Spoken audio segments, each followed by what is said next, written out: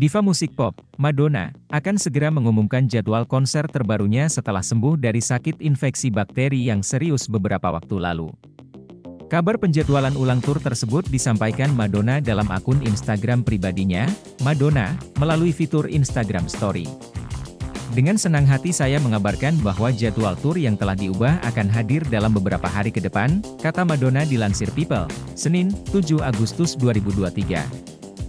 Madonna berterima kasih pada setiap orang dan penggemar yang mendukungnya selama ia dalam masa pemulihan. Ia pun merasa tidak sabar ingin segera bertemu para penggemar di konsernya mendatang. Sekali lagi terima kasih atas dukungan dan kesabaran Anda yang luar biasa selama beberapa minggu terakhir ini, ujar dia.